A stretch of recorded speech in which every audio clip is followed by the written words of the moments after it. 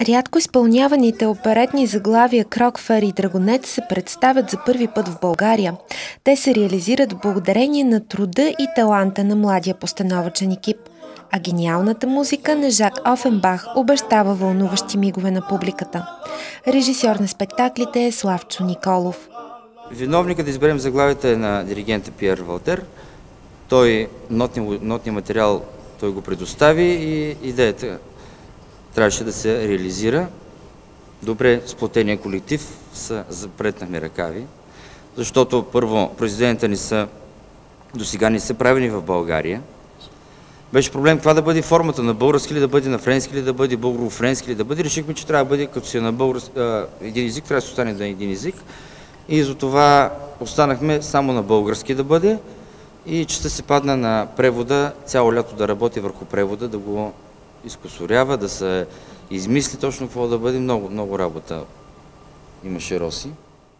Актуалността на постановката е жива и до днес, защото Офенбах сякаш с пророческа дарба е предвидил и показал в тях бъдещи събития и личности, допълва режисьорът. Je veux dire que c'est une euh, occasion assez unique de présenter deux ouvrages complètement inconnus d'Offenbach.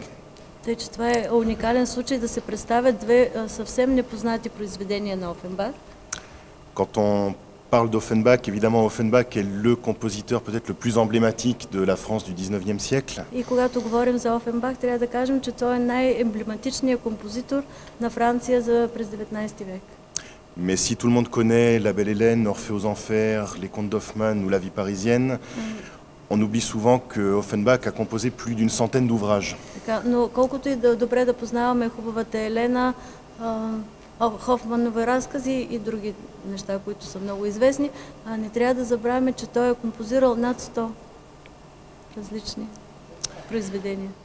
Оперетата Драгонет разглежда действия от Първата световна война, когато 32-и батальон от френската армия е под обсада.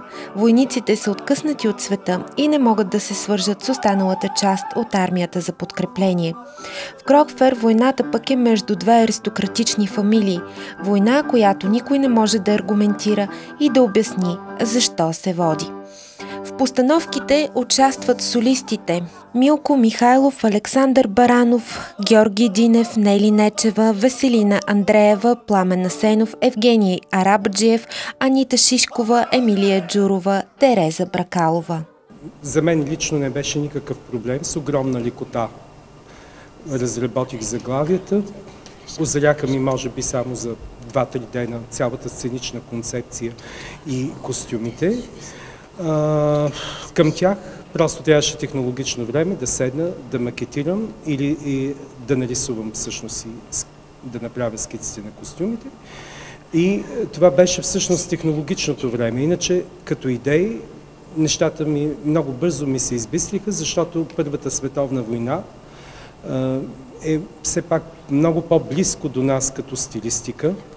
Имаме я много в киното, аз също съм работил в киното в, а, а, по подобни проблеми, а, смисъл в а, този период, в който това е правено. Не сме набягали на някакви конкретни комбинации, а, нали, хореографски толкова текст.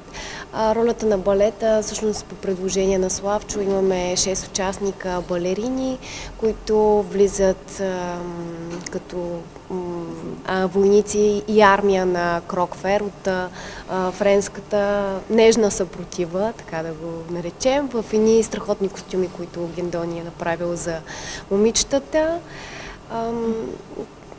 Мисля, че всички солисти, които трябваше да, да вземат участие в двете заглавия, по-скоро сме поставили задачи а, и чрез а, танц и пластика а, сме достигнали до един комплексен вариант в, и в двете заглавия, за да изглеждат така по-раздвижени вътре в а, спектаклите. В началото на спектакъла публиката ще поздрави професор Божидар Димитров, който е и специалният гост на събитието. Той ще направи представене на епохата и събитията, на фона на които се развива действието. Вечерта се посвещава на 100 годишнината от Първата световна война и се осъществява с любезното съдействие на Министерството на отбраната.